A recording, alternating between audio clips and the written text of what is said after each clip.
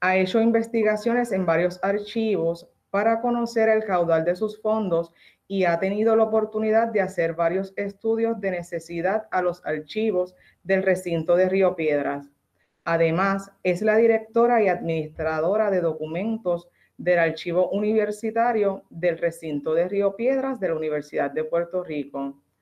Su más sobresaliente estudio fue su tesis de maestría donde investigó los archivos de la Universidad de Puerto Rico, recinto de Río Piedras, y demostró la proliferación de archivos históricos dentro de un mismo centro docente.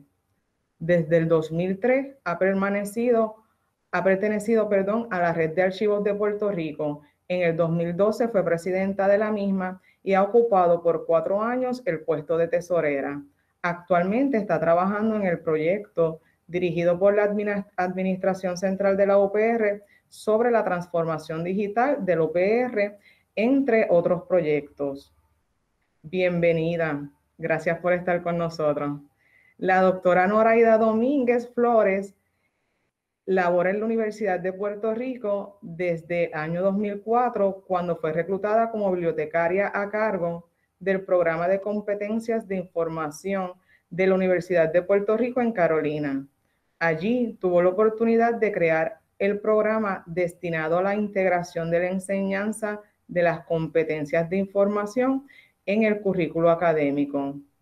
Para el año 2010 completó su grado doctoral en Ciencias de Información de Nova Southeastern University e inmediatamente inició estudios conducentes a un certificado en gerencia de conocimiento de Kent State University buscando la oportunidad de continuar desarrollándose profesionalmente desde el salón de clases, para el año 2013 obtuvo una plaza como catedrática auxiliar en la Escuela Graduada de Ciencias y Tecnología de la Información. Como catedrática, ofrece cursos presenciales y a distancia, a la vez que procura desarrollar proyectos de investigación donde integra a sus estudiantes. Durante su trayectoria, profesional ha publicado en diversas revistas arbitradas y también ha presentado conferencias profesionales tanto en Puerto Rico como fuera del país. Desde 2018 se desempeña como directora interina del sistema de bibliotecas del recinto Río Pedrense y desde agosto del 2020 es también la directora interina del EGCTI. Bienvenida, doctora. Gracias por estar con nosotros. Continuamos con la presentación de nuestros recursos. La profesora Nivia Santiago Vázquez es la directora interina del Centro de Información y Tecnología desde mediados del 2013. Trabaja en CITEC, antes conocido como Biblioteca de Ciencias Naturales del Sistema de Bibliotecas, ofreciendo servicio al público en las áreas de circulación, referencia y préstamo interbibliotecario. Con más de 20 años de experiencia, posee dos maestrías del recinto de Río Piedras, Universidad de Puerto Rico, una en Ciencias y Tecnologías de la Información de la Escuela Graduada de Ciencias y Tecnología y una en Ciencias con especialidad en Biología de la Facultad de Ciencias Naturales. Bienvenidas a las tres. Gracias por estar aquí con nosotros. Eh, quisiéramos saber de qué forma prefieren que se contesten las preguntas y las dudas que surjan de los participantes, si prefieren que se realicen eh, una vez surjan esas dudas o al final del webinar habrá un espacio para contestarlas.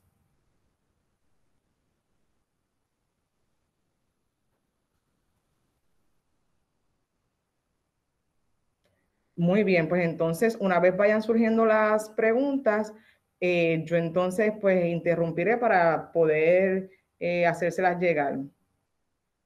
Gracias. Pues sin más preámbulos, eh, le cedo la palabra a, a las profesoras y a la doctora. Buen día, gracias por estar aquí.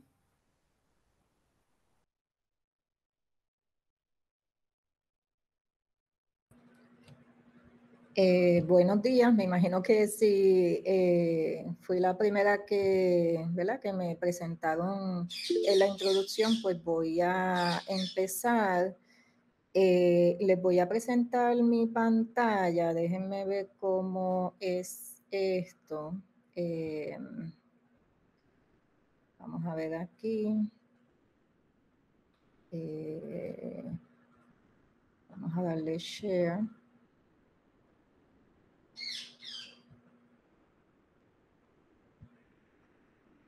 Vamos a bajar aquí. ¿Me oyen todos bien?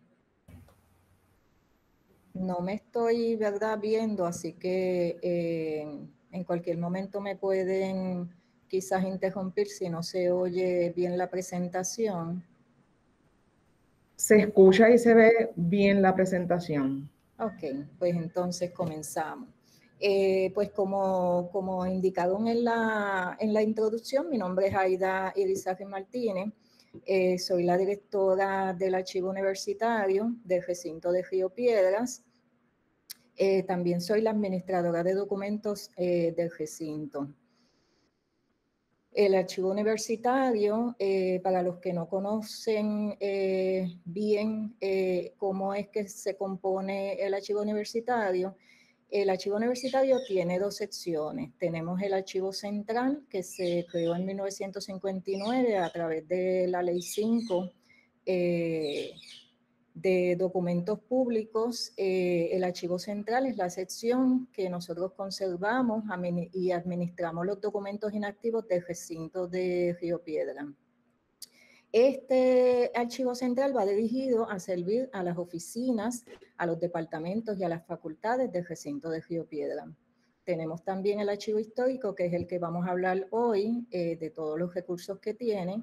Esta sección se nutre de los documentos del archivo central cuando estos pierden su valor administrativos y pasan a ser documentos históricos eh, luego de pasar por un proceso de expurgo y valoración y están disponibles para investigación eh, al público en general.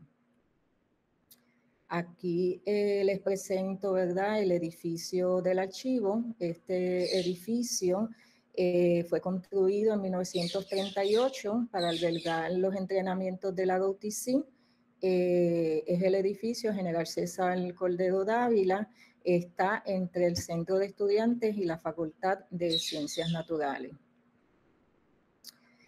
En estos momentos... Con permiso, profesora. Veo que el profesor Daniel Expósito Sánchez tiene su mano levantada.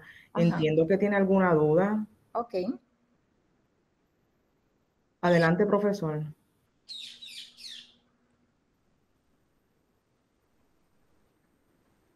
Profesor Daniel Expósito. ¿Tiene alguna duda? Ok, me indica que fue que le dio sin querer. Muy bien, gracias. ok.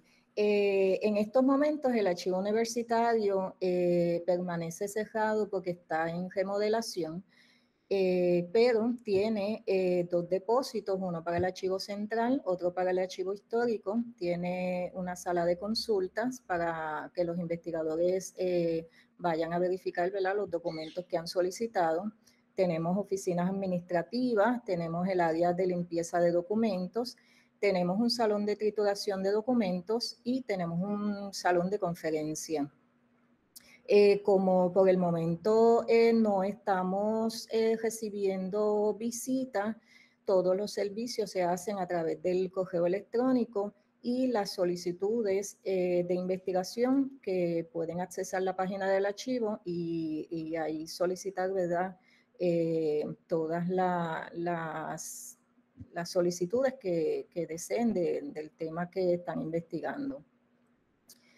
Eh, nosotros tenemos alrededor de 100 colecciones, eh, les voy a presentar más o menos las más destacadas. Tenemos el cincuentenario de la universidad, 1953, tenemos ocho cajas, tenemos eh, la colección del codo de la Universidad de Puerto Rico, siete cajas, comenzando desde el 1935. Tenemos la colección de doctorado honoris causa, que comienza desde el 1913 hasta el presente. Tenemos la colección de discursos de gestores, son 28 cajas desde el 1942. Tenemos la colección de revistas y boletines, tenemos la colección de la Oficina de Publicidad en 1921, cuando Munali era la directora de esa oficina. Tenemos la colección, 30 eh, cajas de huelgas, protestas y manifestaciones que han eh, pasado la universidad desde 1948 tenemos la colección de orquesta, banda y tuna, eh, que ahí pueden encontrar la evolución de la tuna de la Universidad de Puerto Rico. Tenemos la colección de fotografías, tenemos cerca de 3.358 fotografías, todas eh, están disponibles en la página de nosotros. Tenemos el borrador de la Constitución de Puerto Rico que se hizo en 1951 eh, y la universidad, los docentes de la universidad eh, tuvieron participación elaborando ese borrador de la Constitución. Eh, tenemos la colección de académicos e intelectuales destacados de la Universidad de Puerto Rico, colección de negativos, la colección de canciller desde el 1912. Tenemos los informes anuales de todas las facultades, departamentos, escuelas y que, le pertenecen al recinto desde el 1918. Tenemos la colección de organizaciones y sus funciones, eh, que son documentos eh, relacionados a todas las actividades que ha tenido las facultades y, y, los departamentos en el recinto.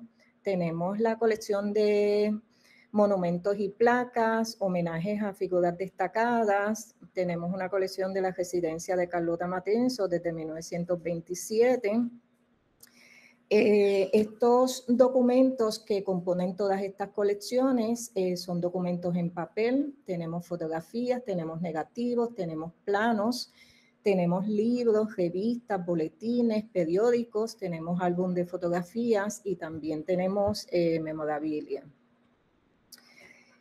para que vean más o menos cómo está compuesta las colecciones. A mano izquierda tenemos una foto de la colección 562, que son los académicos e intelectuales destacados de la Universidad de Puerto Rico. Esos son, se componen de los expedientes de recursos humanos.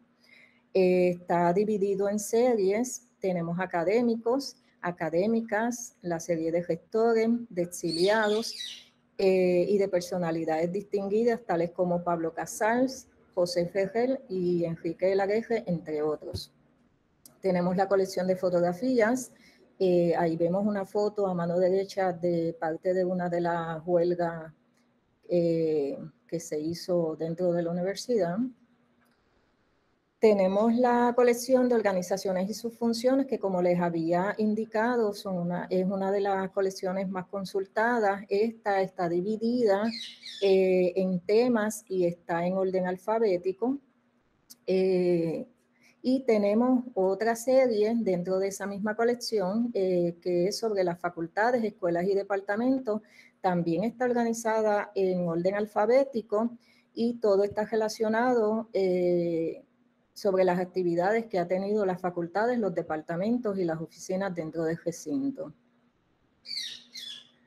Eh, a mano izquierda vemos una foto eh, de la colección de la residencia Carlota Matienzo. Eh, si se fijan, ahí tenemos un informe sobre las pupilas que salieron en mayo de 1933 con, ¿verdad? con los días de la semana que salieron cada una, eh, con su nombre y hacia dónde eh, iban.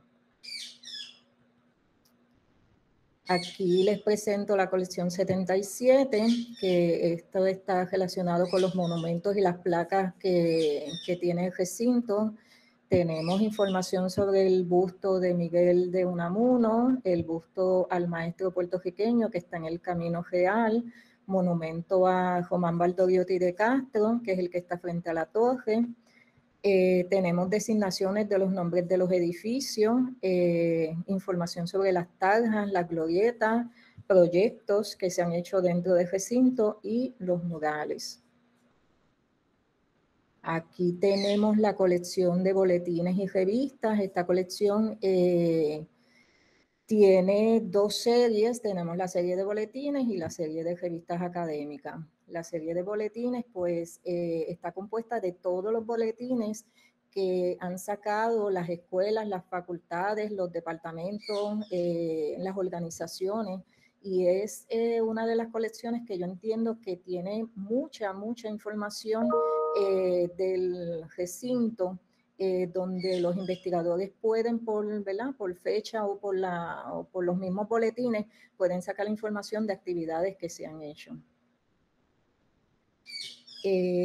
tenemos aquí el boletín de el boletín universidad a mano izquierda, una foto. Tenemos aquí un anuario de las hay de la universidad, que también lo pueden encontrar ahí.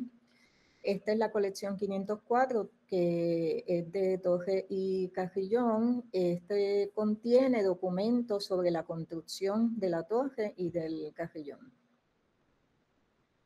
Aquí hay eh, fotos que están en esa misma colección. Esto es una maqueta y en la parte de arriba a mano derecha eh, vemos parte de la construcción.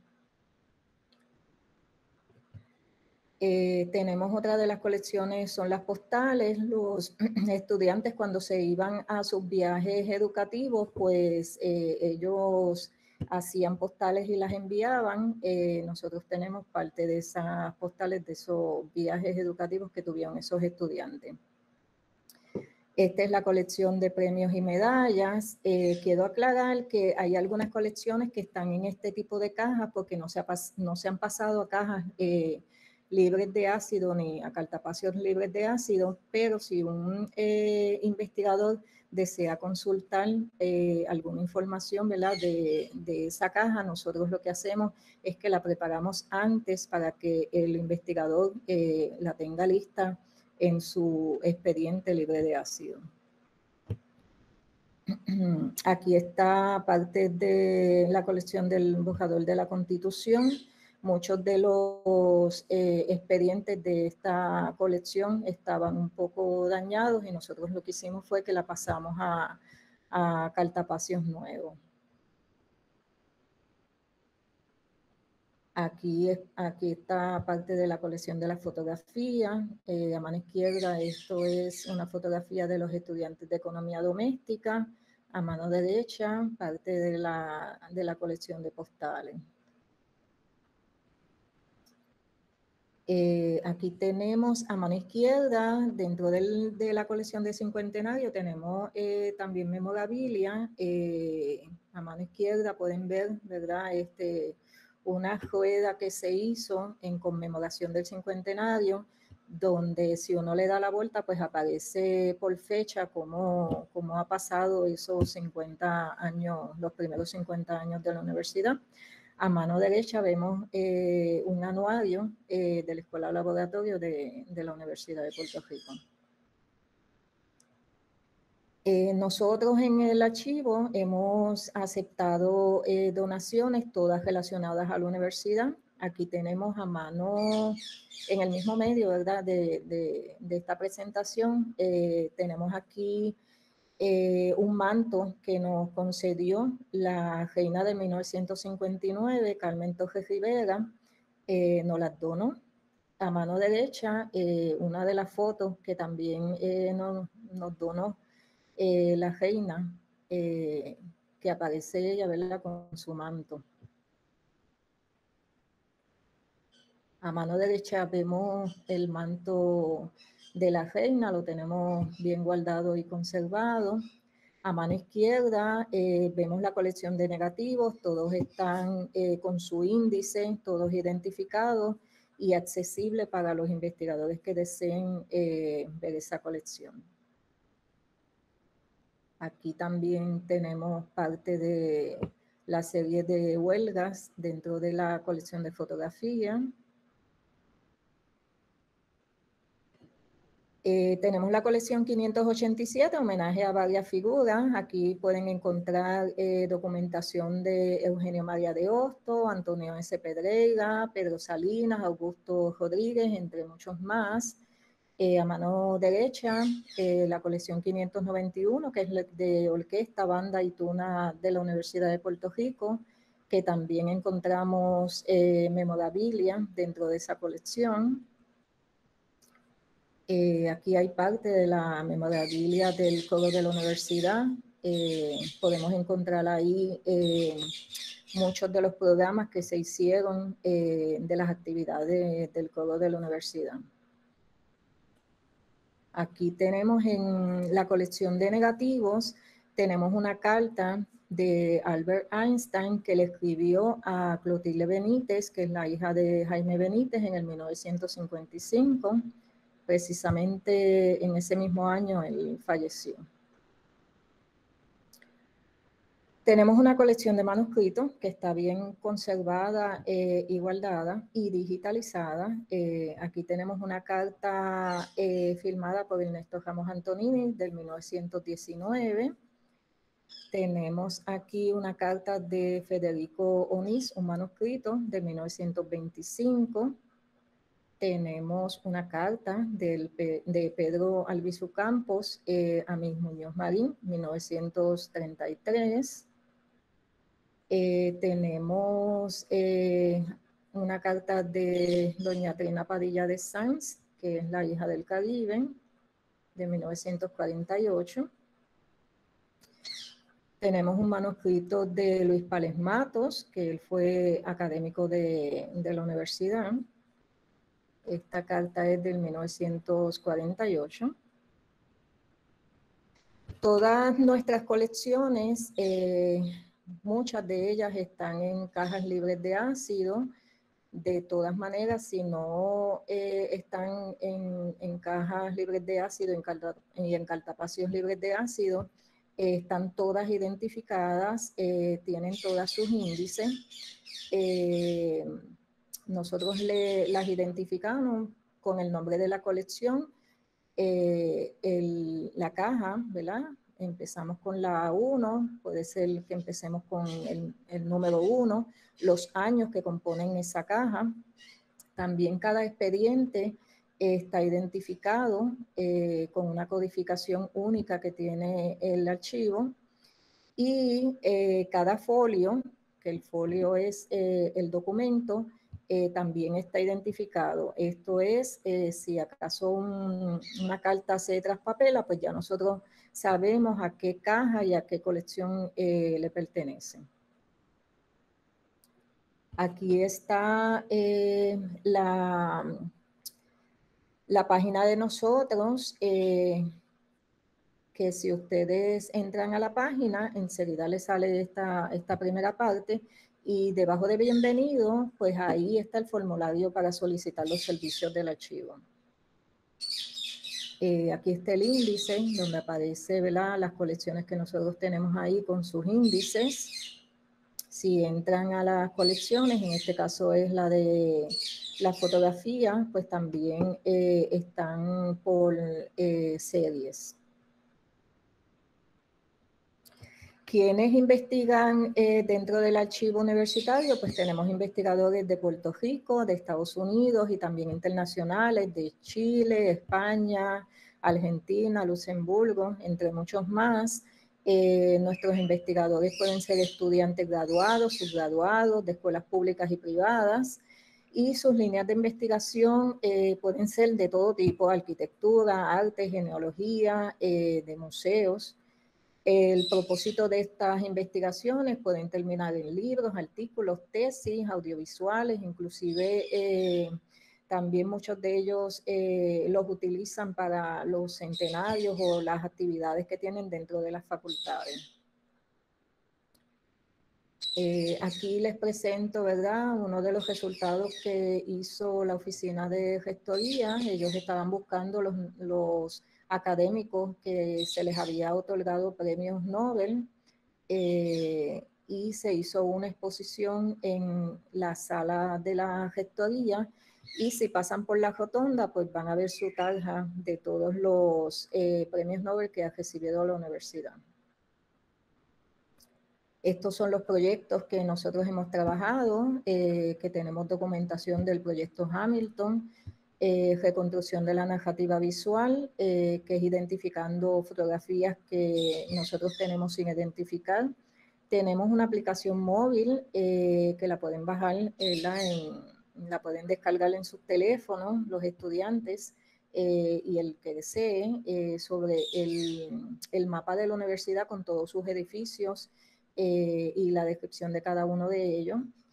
Y tenemos también eh, el repositorio documental de COVID-19, donde eh, hemos recopilado toda la información que ha pasado dentro de la universidad eh, durante la pandemia del COVID-19.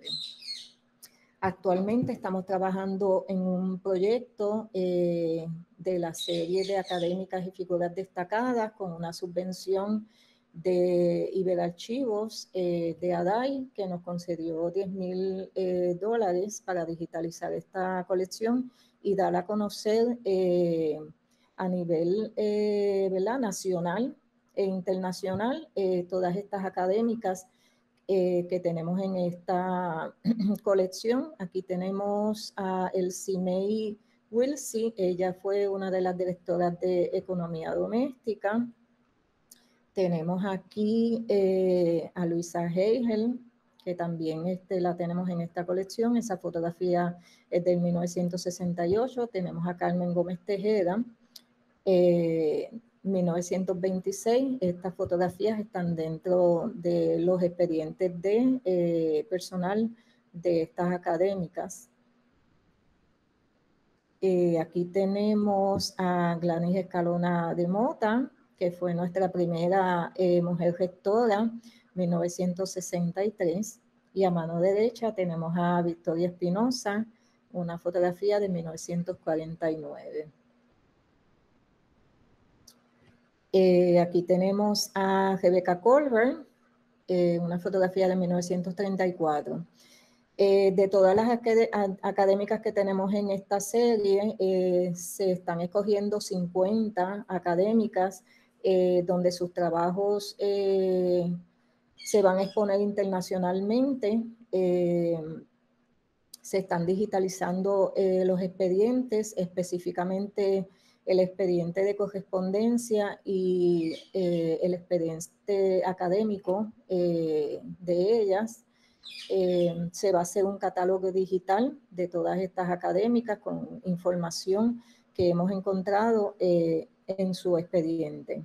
Quiero hacer la salvedad que estos expedientes nosotros eh, cuando los ponemos a disposición de los investigadores eh, no eh, le incluimos su información personal, ni seguro social, ni médica, solamente sacamos la información académica y, y la labor que ellas han realizado dentro de la universidad. Nos pueden eh, contactar a través del correo electrónico archivo.central.upr.edu, eh, a través de nuestra página archivo.uprgp.edu, eh, el teléfono de la universidad con la extensión 84033.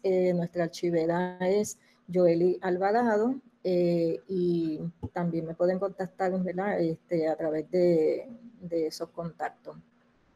Espero, ¿verdad?, que les haya eh, gustado la presentación y que esto sirva, ¿verdad?, para que nosotros eh, podamos eh, ofrecerles a ustedes este servicio que es tan esencial para todas las, la, comunidad y fuera de, la, del recinto. Si tienen alguna pregunta, pues estamos a la disposición.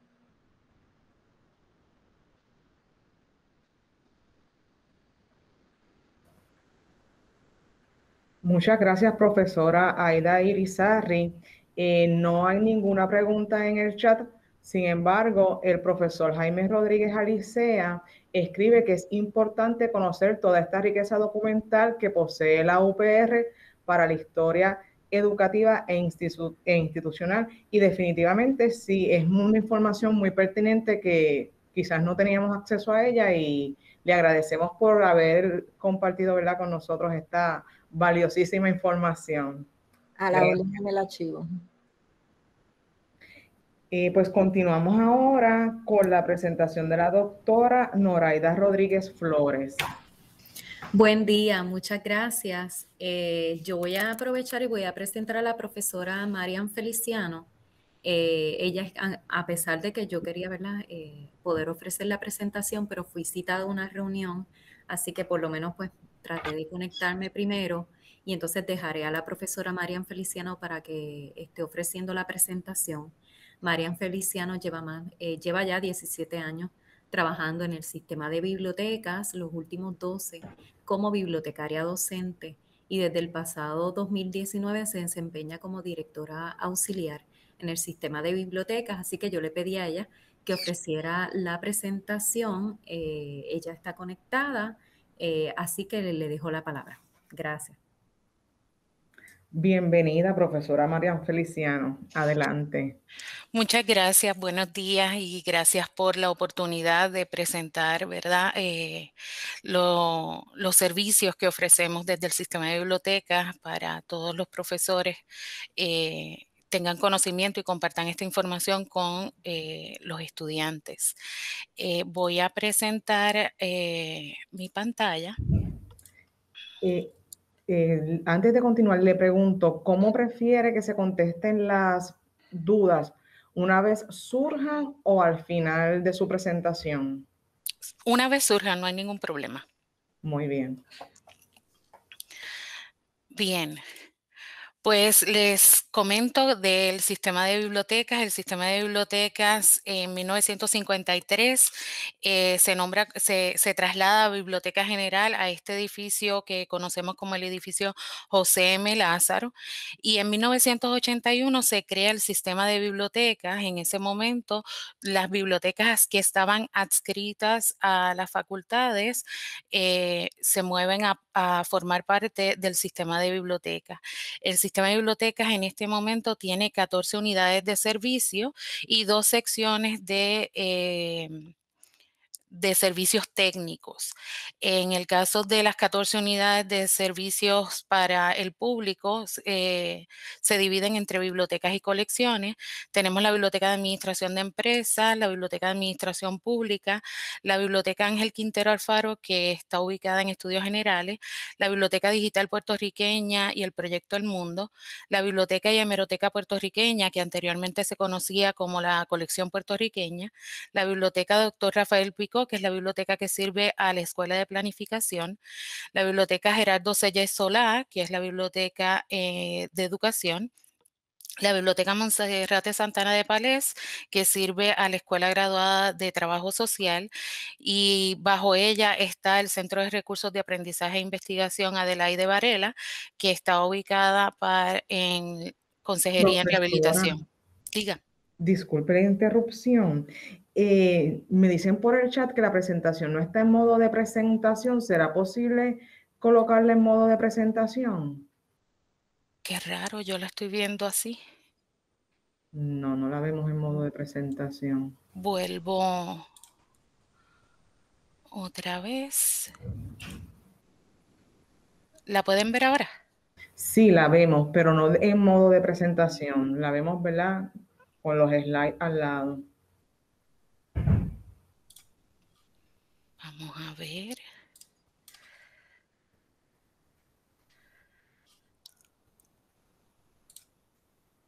Ok, hice el cambio.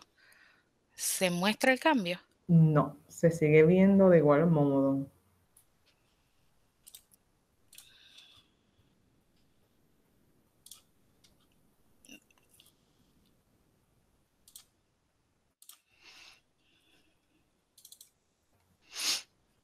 Voy a abrirla nuevamente. Ahora. Aún no se ve.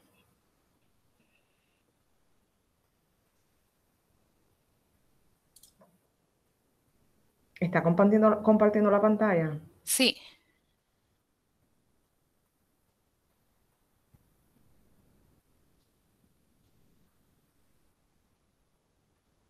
Pueden verla ahora, ¿no? Por lo menos yo no la veo. No sé si alguno de los otros profesores no, no, no se ve. Disculpen ahora.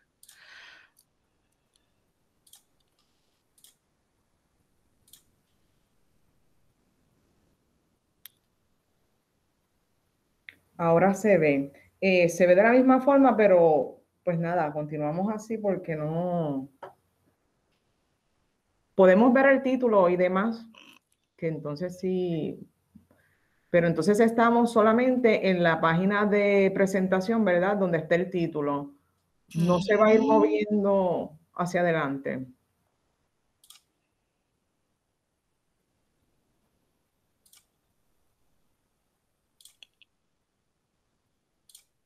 ¿Ahora pueden observarla bien? Yo la veo igual.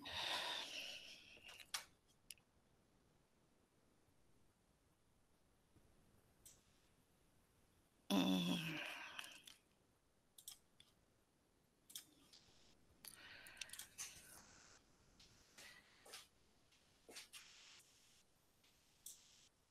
No sé, un momentito. Mm.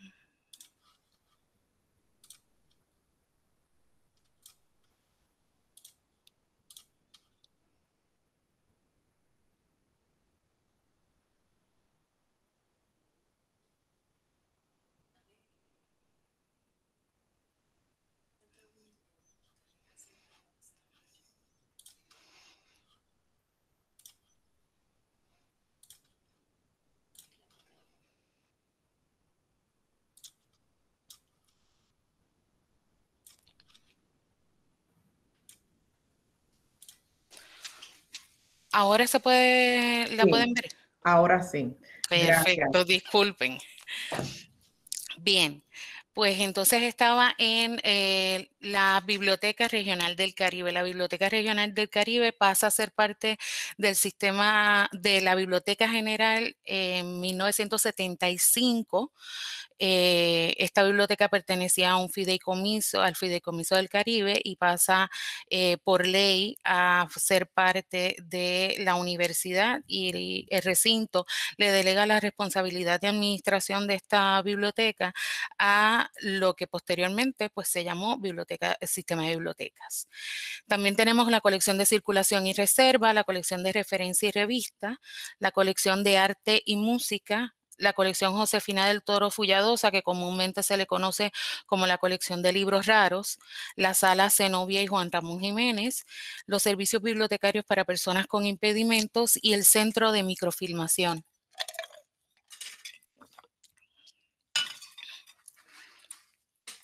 ¿Qué tipo de recurso tiene el sistema de bibliotecas? Pues tenemos libros impresos y electrónicos, revistas profesionales y populares en ambos formatos, periódicos locales e internacionales también en ambos, en ambos formatos, documentos gubernamentales oficiales tanto del gobierno de Puerto Rico como el gobierno de los Estados Unidos, informes de diferentes agencias y corporaciones públicas, partituras, material audiovisual eh, en, en modalidad de películas, discos, material gráfico como mapas, carteles, postales y microformatos que entre ellos están las micropelículas y las microtarjetas. Dentro de los servicios que ofrece el sistema de bibliotecas está el servicio de consultas y referencias con personal bibliotecario. En estos momentos se puede hacer en modalidad eh, virtual y en modalidad presencial. El préstamo de recursos bibliográficos, el préstamo interbibliotecarios, los accesos a bases de datos, revistas y libros electrónicos, el programa de integración de competencias de información al currículo, y eh, el servicio de referencia virtual, tanto sincrónica como asincrónica. También tenemos áreas de estudio individual y grupal, computadoras, fotocopiadoras, conexión a Wi-Fi y área de exhibiciones con esto de, la situación del COVID, pues eh, nuestras actividades presenciales pues habían mermado. Eh, les presento algunas fotos de algunas de las actividades, exhibiciones eh, durante diferentes momentos, Semana de la Biblioteca, la Semana del Libro Censurado, la Feria de Cómics, en el centro vemos eh, una presentación de libros eh, artísticos creados por estudiantes de la Facultad de Humanidades y una exhibición de tarjetas, de postales navideñas eh, disponibles en la colección de las artes y música sobre los eh, servicios eh, quizás más aclamados dentro del, sistema de bibliotecas está el préstamo interbibliotecario. El propósito de este servicio es obtener en calidad de préstamo o entrega documentos recursos bibliográficos que no están disponibles en el sistema de biblioteca. Entiéndase algún recurso que eh, profesor o estudiantes necesitan y que el sistema de bibliotecas no lo tiene, lo solicita a bibliotecas tanto dentro de Puerto Rico como fuera y se hace en una modalidad de eh, préstamos eh, recíprocos el sistema de bibliotecas identifica dónde está ubicado ese, ese recurso y si es un, libro completo, pues se hace el envío por correo postal. En el caso de que sean artículos de revista, pues la mayoría de las veces se hace como entrega de documentos a través del correo electrónico. El servicio está disponible para la comunidad universitaria activa de recinto de Río Piedras. El, este servicio en el sistema de biblioteca se ofrece a todas las eh, los estudiantes con excepción de ciencias naturales porque ellos tienen una oficina de préstamos interbibliotecarios en eh, la unidad de servicios. El servicio de préstamos interbibliotecarios tiene su eh, solicitud de servicio a través de la página del sistema de biblioteca que un poquito adelante se las voy a mostrar. Otro de los servicios importantes del sistema de bibliotecas es el servicio bibliotecario para personas con impedimentos. Esta unidad tiene el propósito de satisfacer las necesidades de información de la población con impedimentos de la Universidad de Puerto Rico del recinto de Río Piedra. Tiene la, la función de hacer accesibles los recursos bibliográficos y tecnológicos en de las bibliotecas en el recinto de Río Piedra. Dentro de los servicios que se ofrecen, se ofrece la digitalización de recursos para personas con algún impedimento visual, transcripciones, salones para exámenes por acomodo razonable, programas de computadoras y equipos especializados, por ejemplo, lectores de pantalla, amplificador de texto, un programa que eh, hace las veces de voz a texto, o sea, se le dicta y el, el programa transfiere la voz al texto. El CCTV, calculadoras parlantes, maquinillas en braille, y, y, y otros equipos y programas especializados. En estos momentos, esta unidad está ubicada en la Biblioteca de Estudios Generales y el, horario de servicio es de 8 de la mañana a 4 y media de la tarde. Eh, los estudiantes pueden acceder a los servicios eh, independientemente estén o no registrados en, la Oficina de Servicios para Estudiantes con Impedimento. Y en el caso de los profesores pueden solicitar el servicio de eh, exámenes por acomodo razonable a través de la, eh, eh, del enlace de la SBPI en la página del sistema de biblioteca. La Biblioteca y Hemeroteca Puertorriqueña, que anteriormente se reconocía como la colección puertorriqueña, tiene un amplio y diverso acervo de recursos informativos puertorriqueños. Es la mayor colección de esta naturaleza en Puerto Rico. Eh, dentro de la colección hay libros, mapas, gráficas, dibujos, manuscritos, fotografías, cintas magnetofónicas, diapositivas, periódicos, revistas, libros raros, micropelículas y documentos impresos del gobierno de Puerto Rico básicamente es, no es, eh, hace las veces de una biblioteca nacional. Allí eh, se adquieren todos los, eh, la producción de escritores puertorriqueños y todo lo relacionado a Puerto Rico. La biblioteca ha comenzado un proceso de digitalización de algunos periódicos y cuenta con, con colecciones electrónicas que se pueden acceder desde la página web del sistema de biblioteca. Es importante recalcar que la cantidad de recursos eh, electrónicos, de libros electrónicos eh, en de Puerto Rico en la, en la biblioteca y hemeroteca puertorriqueña pues no es tan amplio porque aquí la cultura siempre ha sido una cultura más de, hacia la impresión, pero dentro de lo que es las revistas y periódicos em, disponibles allí, se ha comenzado ese proceso de digitalización para hacerlo disponible a través de la página. Tenemos también el programa de integración de competencias de información al currículo, que lo conocemos como PSIC. Aquí se desarrollan competencias de información como la búsqueda, la evaluación, el uso de la información y el uso de herramientas de información. Los ofrecimientos regulares que se dan son servicios y talleres eh, y orientaciones relacionadas a los servicios y recursos del sistema de biblioteca, el uso de manuales de estilo, el uso ético de la información, estrategias de búsquedas efectivas en el catálogo en línea y las bases de datos del sistema de biblioteca, manejo de bases de datos especializadas y otras herramientas para la recuperación de información en diversos formatos. Este programa trabaja en coordinación y colaboración con el profesor del salón de clases. Regularmente el profesor hace una solicitud para estas intervenciones y el personal bibliotecario se reúne con el profesor para trabajar el área que el profesor identifica como necesaria y se trabaja em, en colaboración con el profesor y el estudiante puede ser en sesiones, en una sola sesión o puede ser en varias sesiones durante el semestre. Eh, durante este periodo en donde estuvimos totalmente a distancia, el personal asignado a este programa se mantuvo ofreciendo estos talleres y orientaciones ah, en modalidad virtual. En este momento también están disponibles para aquellos cursos que este semestre se van a estar ofreciendo presencialmente. La coordinación es a través del enlace disponible en la página del sistema de biblioteca. Aquí les voy a presentar la página de eh, sistema de biblioteca.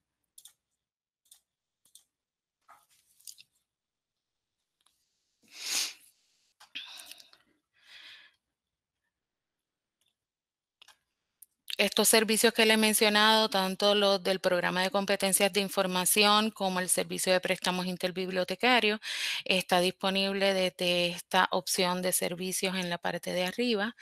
En la parte central tenemos eh, el catálogo en línea y las bases de datos, el descubridor de bases de datos. Aquí eh, el usuario puede hacer su búsqueda o trabajar una búsqueda avanzada en combinación de términos. Por aquí tenemos nuestro nuevo servicio de referencia virtual. La referencia virtual en este caso es sincrónica, o sea, al momento en modalidad chat, la persona puede ingresar y hacer la, pregunta que necesite y uno de nuestros eh, bibliotecarios va a estar atendiendo su pregunta de manera inmediata. El horario para el chat es de 8 y media de la mañana a 5 y media de la tarde, de lunes a viernes, y los sábados de 10 de la mañana a 6 de la tarde. Y por acá tenemos la solicitud de préstamos interbibliotecarios y las solicitudes de citas. Debido a la situación del COVID, pues hemos tenido, ¿verdad?, que regresar a la modalidad de citas para ofrecer los servicios. Tenemos los horarios que están disponibles y una sección de tutoriales que pueda ayudarle en el uso de algunas bases de datos o orientarlos con alguno con alguno de nuestros servicios. También tenemos la opción de las guías temáticas. Estas guías temáticas están divididas por materia y aquí puede encontrar información, por ejemplo, sobre el uso de manuales de estilo. Aquí tenemos el manual APA, el manual Chicago, sobre fuentes primarias de información, alguna información sobre administración pública, la colección puertorriqueña, gobierno, finanzas, estudios del Caribe, estos, estas guías temáticas están constantemente actualizándose y, y, creamos muchas de ellas eh, para fortalecer ¿verdad? los servicios bibliotecarios y las necesidades que tenían los estudiantes, sobre todo en este periodo en que no estaban presenciales, pero siguen estando actualizadas y disponibles para uso de eh, el público en general.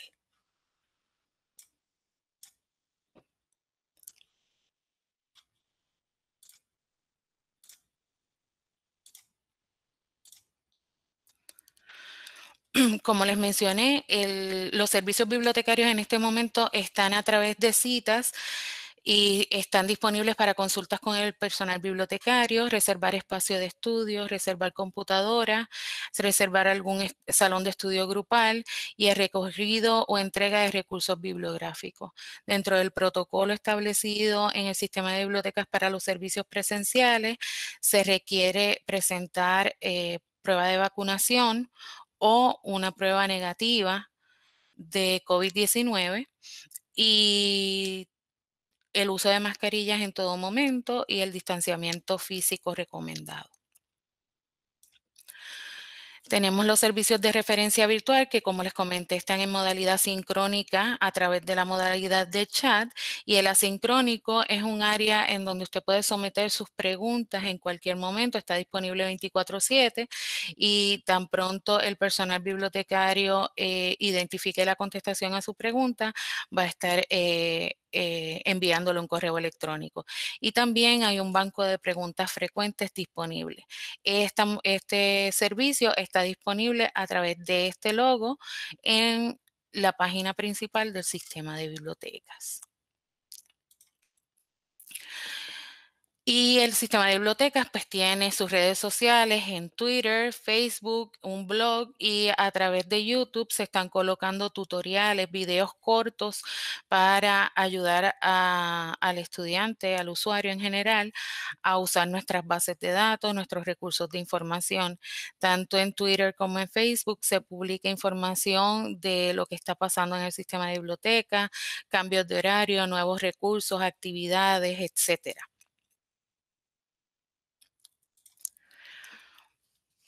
Les dejo mi contacto para cualquier duda o pregunta. Eh, aquellos, que, aquellos profesores que quieran solicitar los servicios del programa de competencias de información, pues pueden eh, visitar la página del sistema de biblioteca y hacer su solicitud a través de la página del sistema de biblioteca. Cualquier ayuda que pueda brindarle o información adicional, pues mi correo electrónico y mi número de extensión. Y estamos aquí disponibles en el edificio José M. Lázaro en el primer piso. Si tienen alguna pregunta, duda.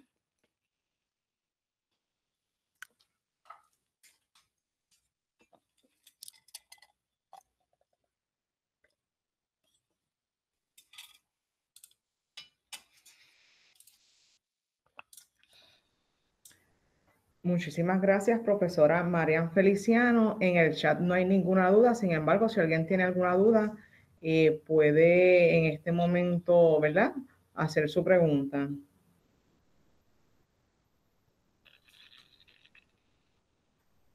Pues no habiendo dudas, continuamos con la profesora Nidia Santiago Vázquez.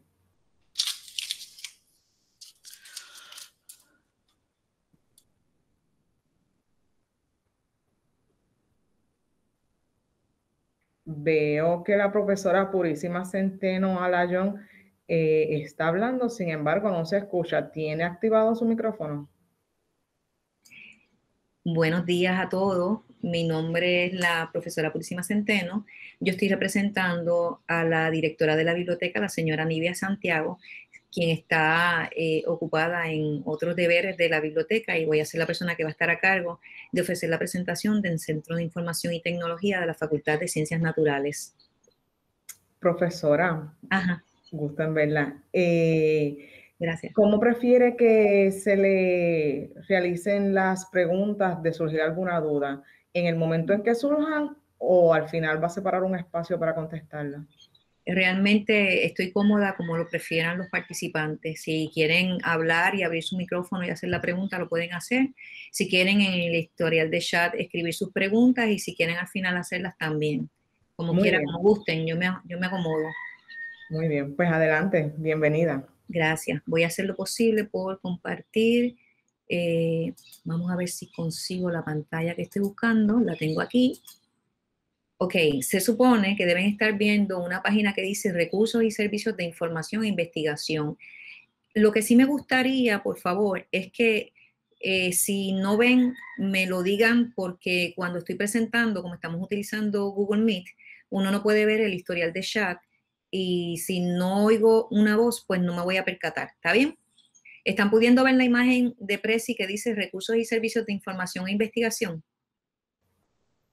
Profesora, permiso, permítame un momento, que vi que surgió una duda de la presentación anterior de la profesora Marian Feliciano, y entonces pues voy a, a leerla. Seguro. Y si ella quiere pues abundar, pues para que lo haga.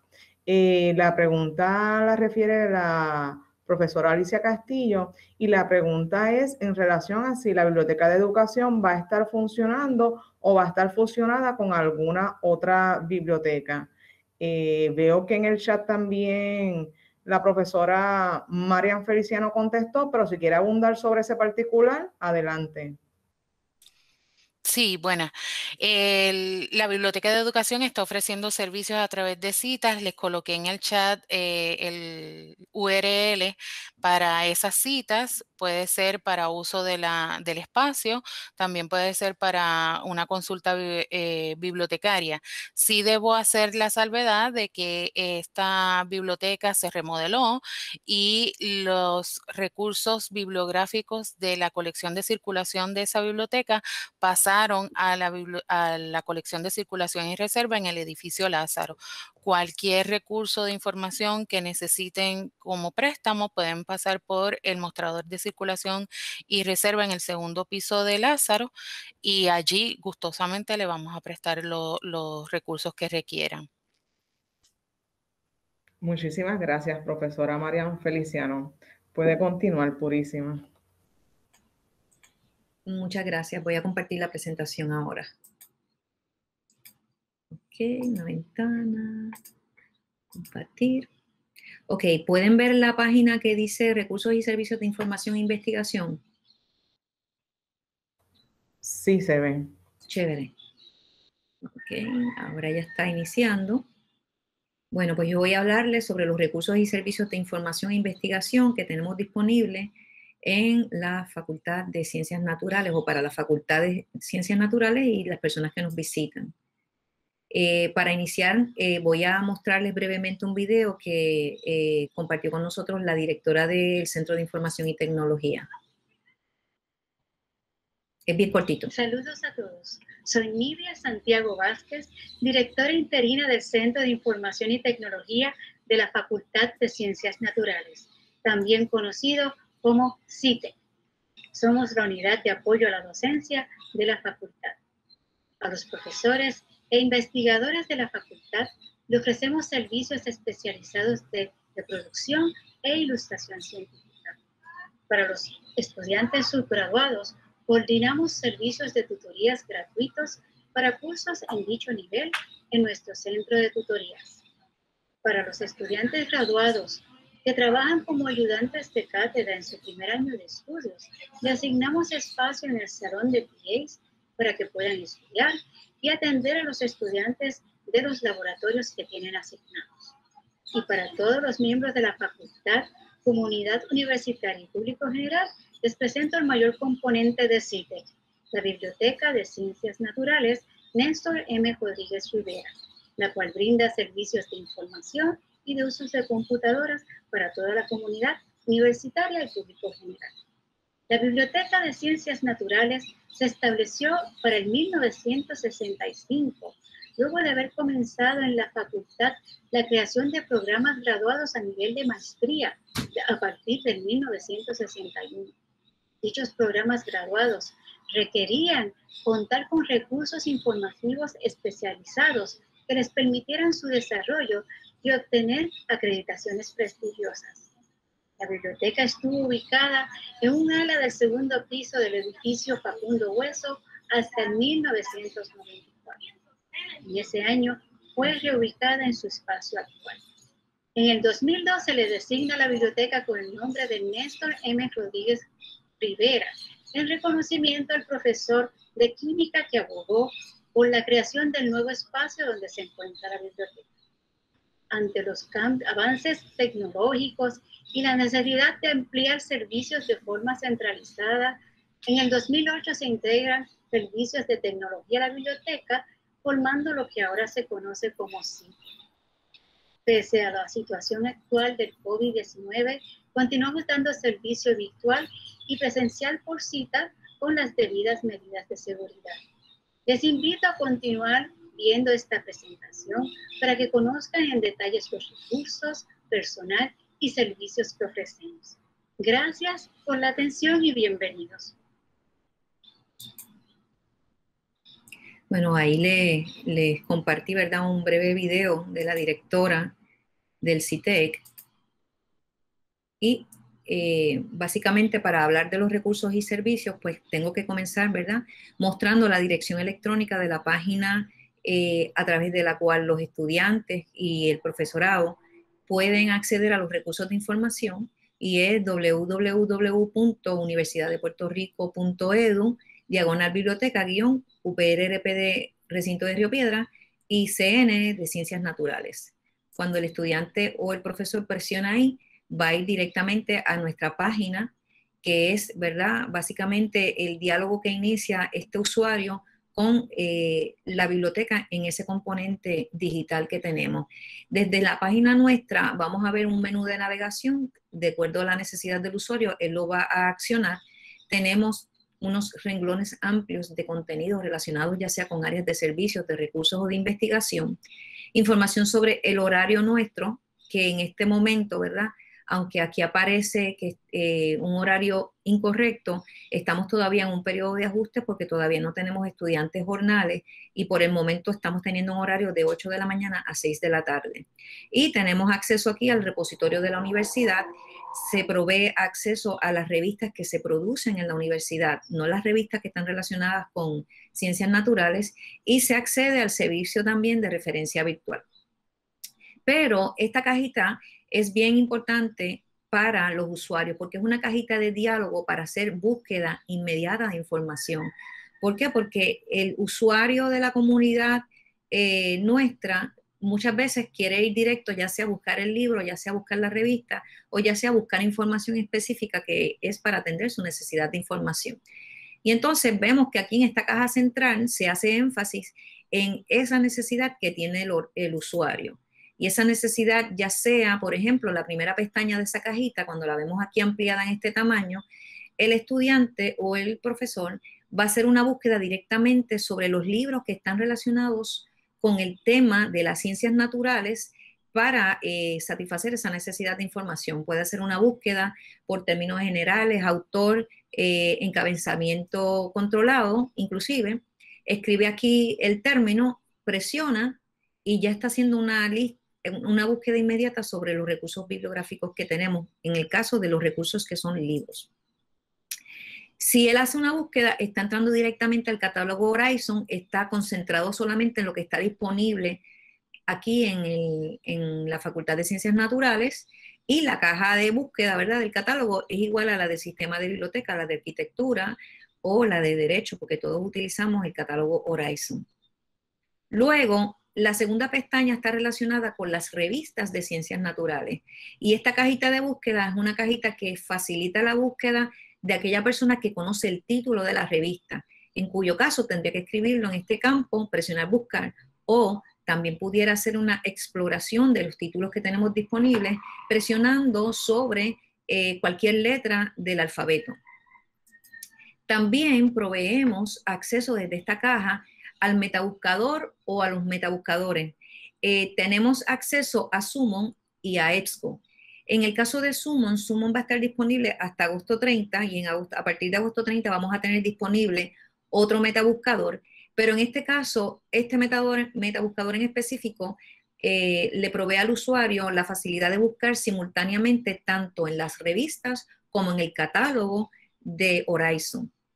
Y el de EBSCO, pues básicamente es un buscador de, que solamente busca en revistas. Si la persona, el estudiante o el profesor va a acceder a recursos bibliográficos, pues tenemos un primer enlace que trabaja o habla, ¿verdad?, sobre lo que es el catálogo y se destaca eh, el catálogo, ¿verdad?, que está relacionado con los recursos bibliográficos de la facultad o para la Facultad de Ciencias Naturales. Pero también, si el estudiante o profesor quiere buscar eh, en todo lo que está disponible en el catálogo centralizado, pues este catálogo abarca los eh, recintos de ciencias médicas y Río Piedras, y ocho unidades de la Universidad de Puerto Rico. Así que puede buscar ampliamente en todo lo que está disponible, a excepción de lo que está disponible en Mayagüez, porque Mayagüez utiliza un catálogo distinto que se llama Unicorn y no participa del catálogo de Horizon. También, como nosotros preparamos estudiantes, que muchos de ellos terminan en el área de las ciencias médicas y algunos terminan en el área de Mayagüez, pues también proveemos acceso directo, el enlace a los catálogos de ciencias médicas o del recinto de Mayagüez. También nosotros tenemos recursos bibliográficos que son libros electrónicos y los libros electrónicos han cobrado eh, una particularidad o una presencia mayor dentro del contexto de la pandemia, ya que el acceso físico a la biblioteca pues está más limitado a partir del 15 de marzo del 2020, cuando empieza esta situación de emergencia. Así que eh, nosotros hemos identificado varios de las bases de datos que contienen libros electrónicos que cubren el área de las ciencias naturales. Por ejemplo, en el caso de EBSCO, EBSCO tiene una colección que se llama eBook Collection y ese incluye recursos bibliográficos relacionados con las áreas curriculares que se desarrollan en esta facultad. También ProQuest tiene su colección que se llama eBook Central. Taylor and Francis tiene SDG Online.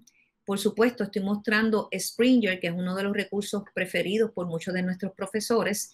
Tenemos otra base de datos que se llama Riley. En este caso, esta base de datos requiere que el estudiante haya creado una cuenta y eh, institucional, ¿verdad? Con cuando digo institucional me refiero que debe ser con el dominio arroba upr.edu. Y también tenemos disponible en línea el Handbook of Chemistry and Physics, que es un recurso muy importante para el área de química y de física, y está dentro de los recursos que son monográficos.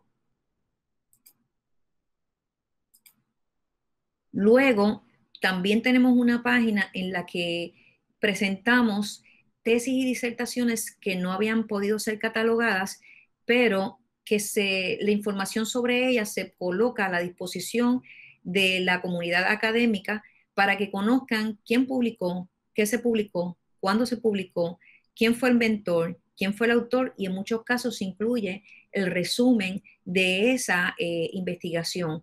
¿Por qué razón? Porque si una tesis no ha sido catalogada, y esa situación la tuvimos por un, tiempito largo, ¿verdad? Eh, si, si esa tesis no ha sido catalogada, pues es ciencia para la cual no hay acceso porque la primera manera de uno es saber que existe es a través de un catálogo o de un índice, algún recurso, eh, una fuente terciaria que identifique qué recursos están disponibles para saber eh, cuál es el estado de la ciencia en esa dirección. Y en este caso, estas son las producciones de nuestros egresados en esta facultad que necesitaban visibilizarse, porque de otra manera, pues, eh, aunque existían, pues no necesariamente todo el mundo sabía que estaban disponibles.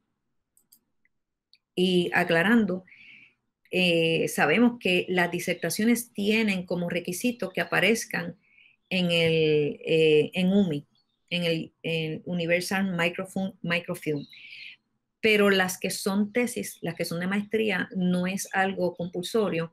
Así que si buscábamos a través de ProQuest, no necesariamente íbamos a descubrir todas las ciencias que se había investigado en alguna de las disciplinas.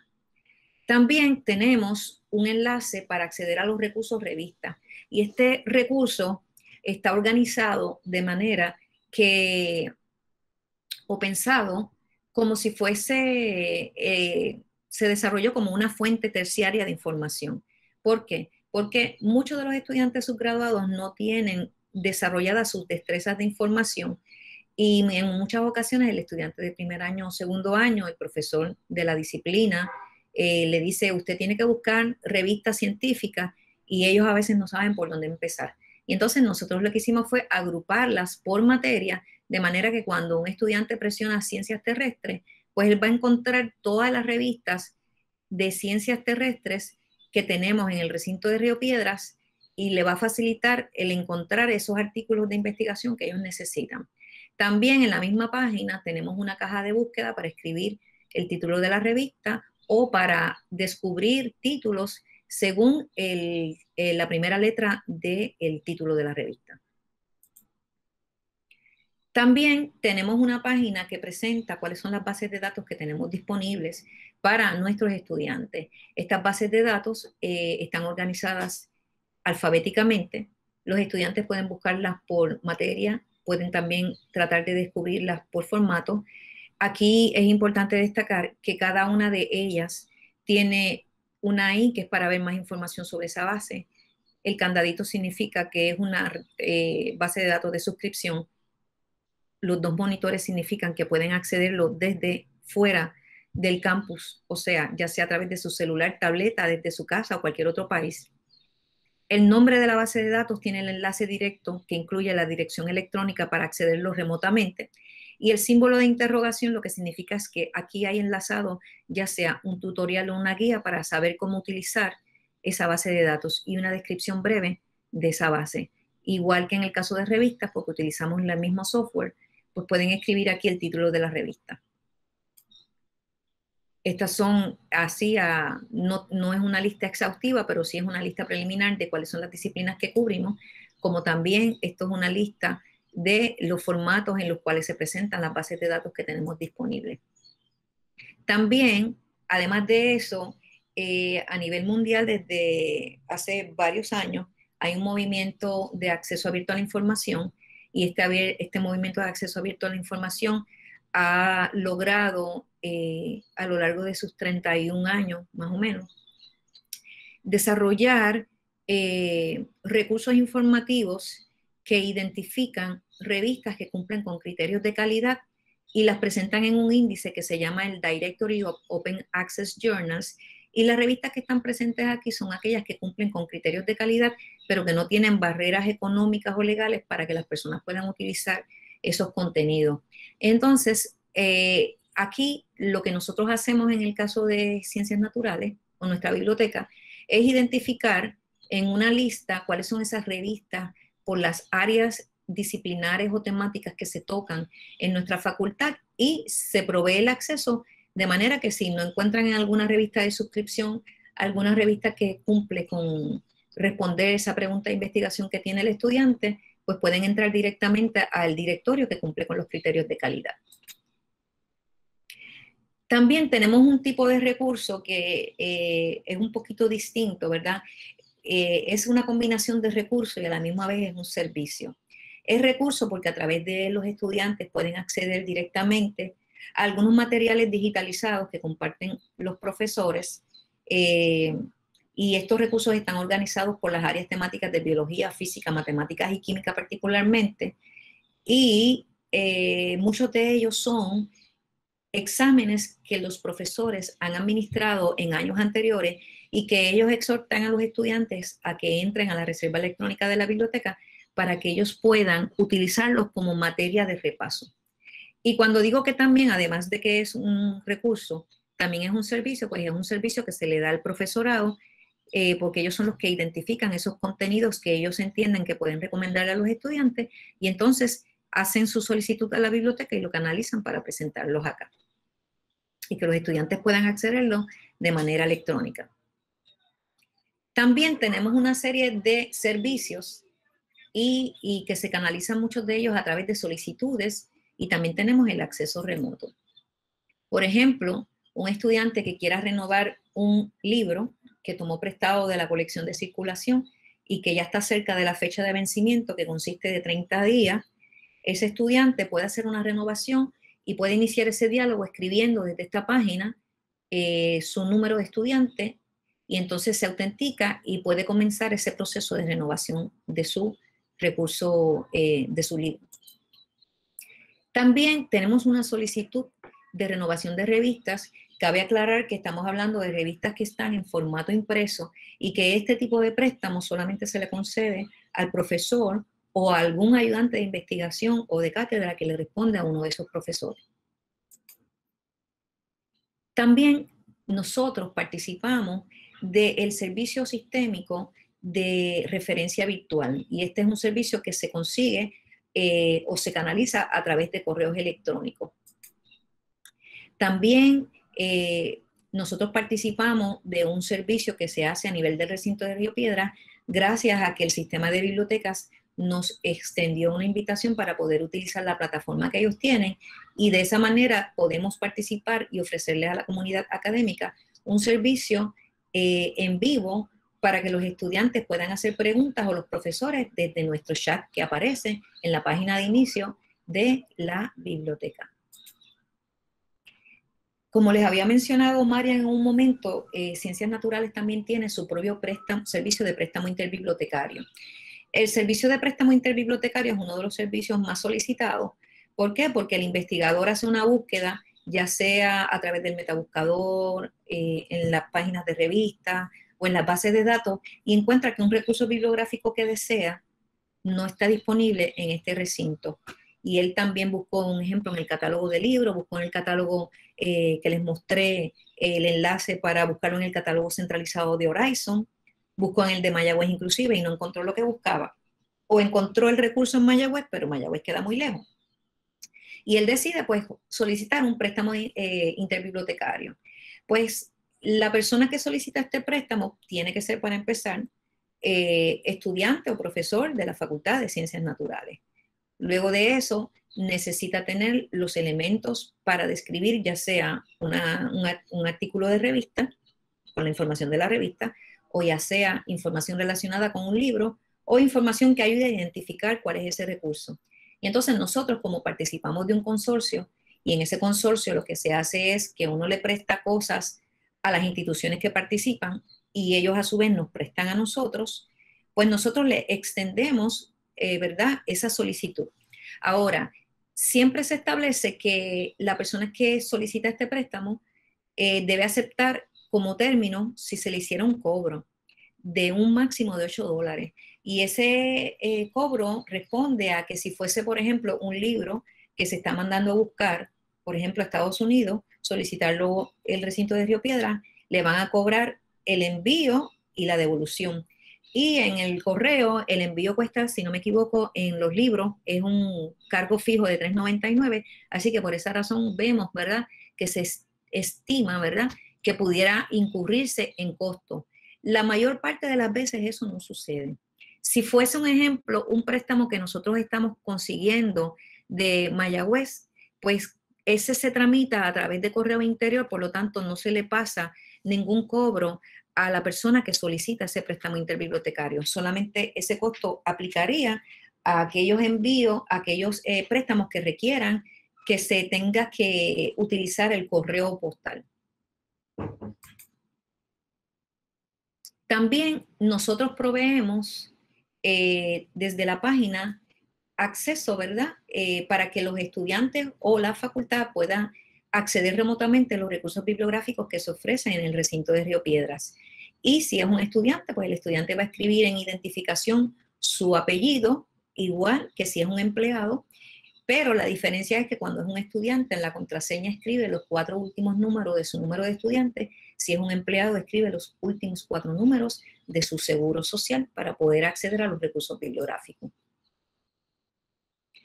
También tenemos eh, un formulario de recomendación de libros si un profesor entiende, porque este es un servicio para los profesores, que hay un recurso bibliográfico que es extremadamente necesario, ¿verdad?, para desarrollar eh, un curso, ¿verdad? Este, o los recursos bibliográficos que necesita un curso para poder cubrir unos temas particulares, pues entonces él puede hacer una recomendación de libro a esta unidad.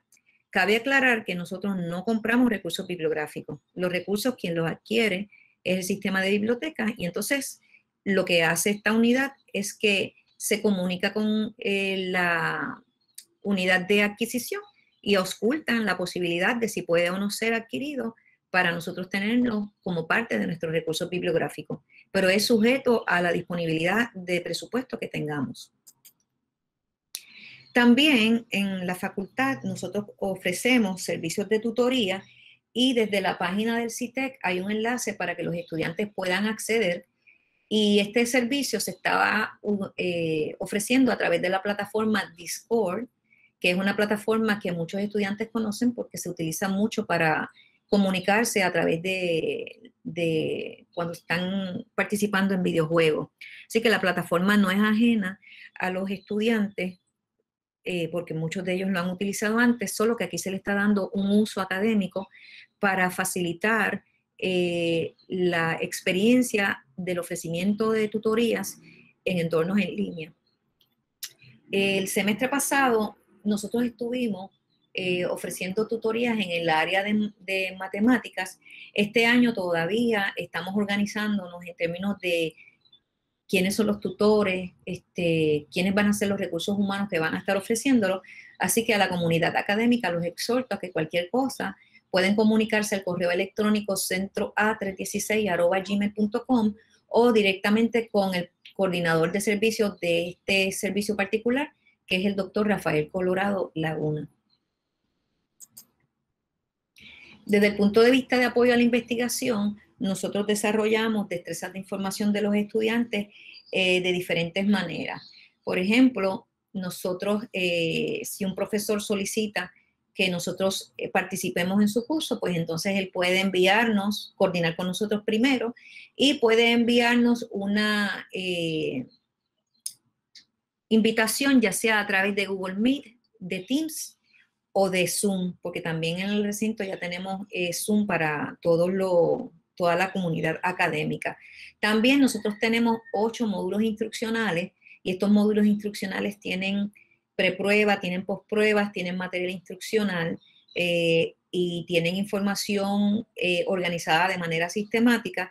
Y en ocasiones, muchas veces los profesores optan por asignar un módulo a manera de asignación o tarea esos módulos pueden eh, cubrirse en aproximadamente hora y media eh, por los estudiantes que lo toman y una vez ellos este, han tomado ese módulo, pues los profesores le piden a, aquí, en el caso nuestro, a la profesora Silvia Figueroa, que es quien prepara eh, las estadísticas sobre las diferencias entre la preprueba y la posprueba de los estudiantes y se las hace llegar a, los a los profesores. Eh, también nosotros tenemos talleres aislados que usualmente en, la presencialidad particularmente, pues lo que se hace es que se comparte la información sobre estos talleres y se recibe a la comunidad académica que incluye los estudiantes de esta facultad, pero que se extiende al resto de la comunidad académica y que en, en algunos casos hemos ofrecido talleres a personal administrativo que llega como parte de las personas que pudieran estar participando de estos talleres o destrezas aisladas en el desarrollo de destrezas de información.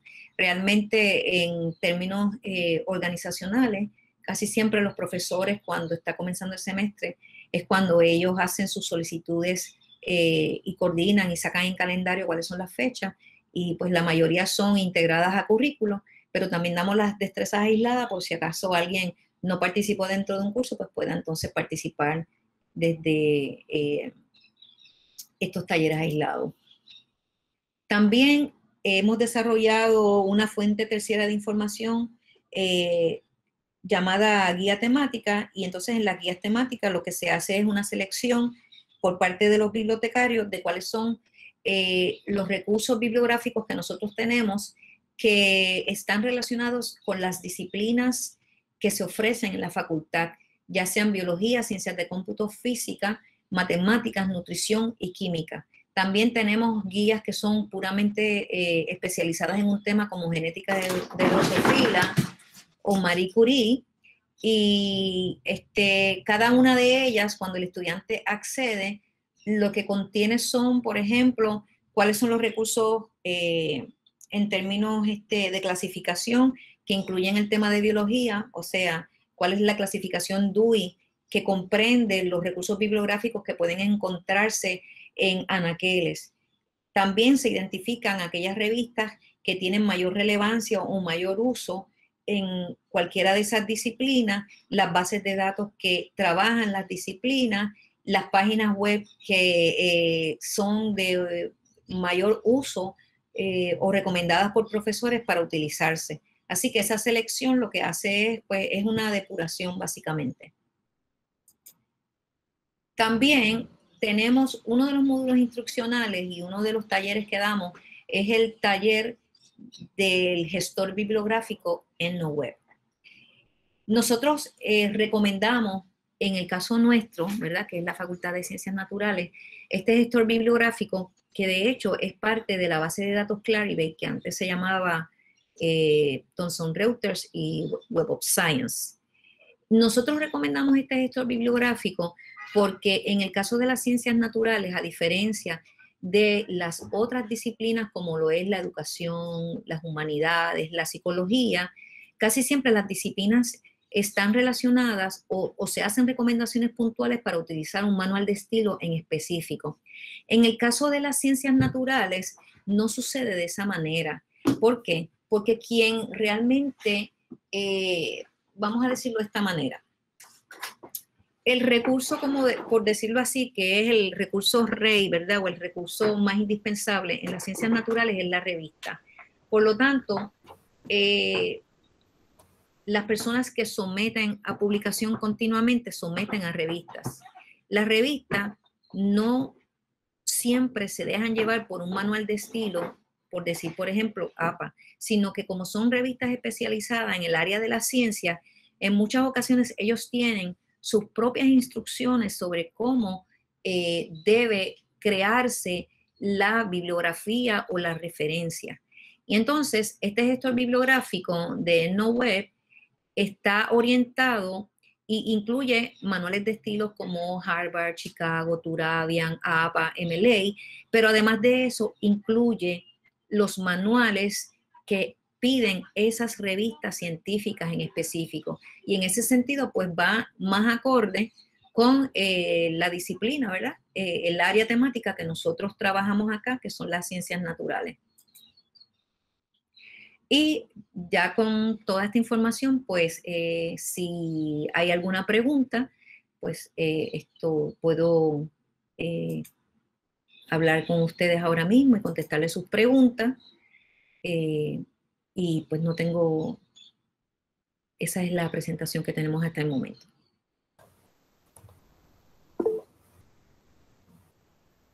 Ajá, Samuel, puedes preguntar. Saludos, e, es, solamente un comentario general, así que no va dirigido a Purísima, así que si me, avisan si, si, lo puedo hacer ahora o, o después. No veo que haya ninguna pregunta en el chat, así que adelante, profesor.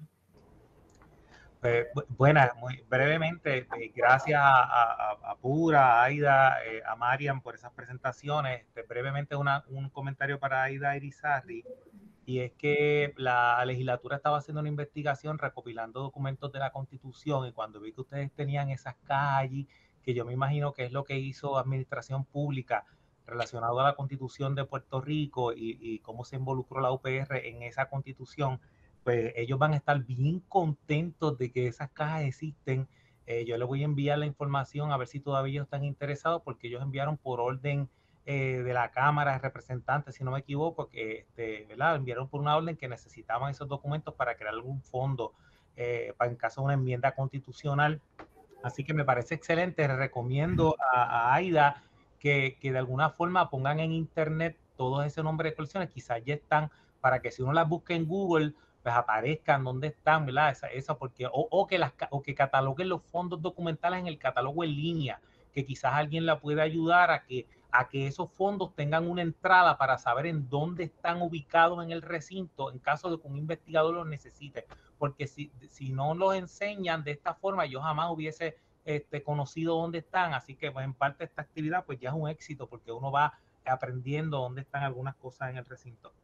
Lo otro es sobre, sobre el sistema de biblioteca, que el sistema de biblioteca es muy humilde, pero yo le quiero decir, ¿verdad? A los presentes que están aquí, que el sistema de biblioteca es probablemente la biblioteca más importante, más grande de todo Puerto Rico, ¿verdad? No hay ningún sistema de bibliotecas en este país que tenga el contenido, la amplitud, en la organización que tiene el sistema de bibliotecas, incluyendo todas nuestras bibliotecas naturales, derecho, arquitectura, y hay que apoyar estos sistemas en momentos en que estamos en una crisis muy grande donde nos hicieron unos cortes eh, presupuestarios que ustedes no, ustedes van a desconocer el, con nuestros contenidos con, con los cortes que nosotros hemos recibido. Eh, eh, y es importante pues, darle un apoyo a ustedes, la facultad del recinto, los que nos están viendo, es importante darle un apoyo porque si algo distingue este recinto universitario son sus sistemas bibliotecarios. Aquí estudian personas de todo Puerto Rico, toda universidad privada que tenga un programa graduado yo creo que no hay un estudiante que no haya pisado este recinto para hacerlo. O sea, que esto es un eje o, un motor de conocimiento del país. Y, pues eso hay que, hay que apoyarlo. Recibimos un corte cerca del 70% de nuestros recursos bibliográficos. Me promociono que el martes yo voy a estar hablando acerca de los servicios de la Biblioteca de Derecho. Así que es bueno que vayan, este, que vengan este, este martes para que ustedes puedan ver lo que nosotros ofrecemos también para el recinto, no solo para nuestros estudiantes. Así que pues nada, eso es todo. Seguimos el, el, martes, seguimos hablando un poco. Muchas gracias, profesor.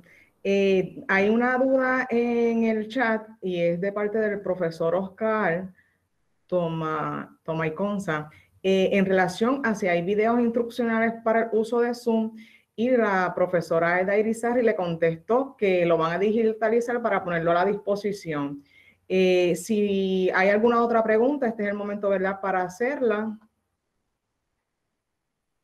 Les ¿verdad? Si no hay ninguna otra pregunta, pues agradecemos a, las profesoras, a la profesora Aida Irizarri Martínez, a la doctora Noraida Domínguez Flores, la profesora Nivia Santiago, la profesora eh, Purísima Centeno y Marian Feliciano por tan excelente información y de tanta utilidad, ¿verdad? Tenemos tantos tesoros y a veces los desconocemos y por desconocerlos pues no los utilizamos. Eh, a todos los profesores le agradecemos eh, su presencia y les recordamos que una vez finalice el webinar van a estar recibiendo un correo electrónico para que puedan evaluar la actividad y puedan acceder al canal de YouTube para, para que puedan ver este, este webinar de así necesitarlo. Eh, sin nada más, ¿verdad?